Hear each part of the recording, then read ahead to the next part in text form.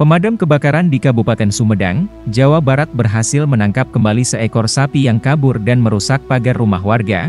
Peristiwa yang meresahkan itu terjadi pada Jumat, 14 Juli 2023, di Kebon Kalapa RT Januari 05, Desa Rancamulya, Kecamatan Sumedang Utara. Sapi tersebut milik Sadirin, 65 warga Dusun Kelaten, untuk Doro, Kecamatan Plaosan, Kabupaten Magetan, sapi itu lepas ketika sedang diturunkan dari mobil yang mengangkutnya.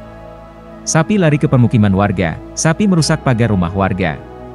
Kejadian itu dilaporkan kepada kami sekitar pukul 9, kata Danton UPT Damkar Sumedang Kota, Yayat, sapi itu diturunkan dari truk untuk sebagai sapi pesanan sebuah pajagalan atau rumah potong hewan di Sumedang. Begitu menerima laporan, dua regu damkar dikerahkan ke lokasi sapi lepas itu.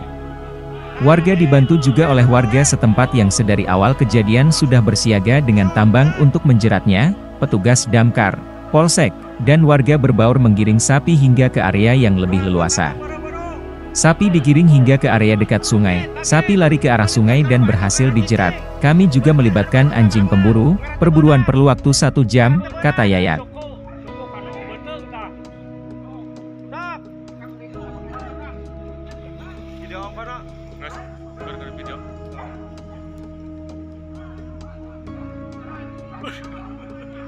Apa nak? Guys, gara-gara video. Baletkan, baletkan. Sukun eh. Sokona, sokona, sok berangkat cicing.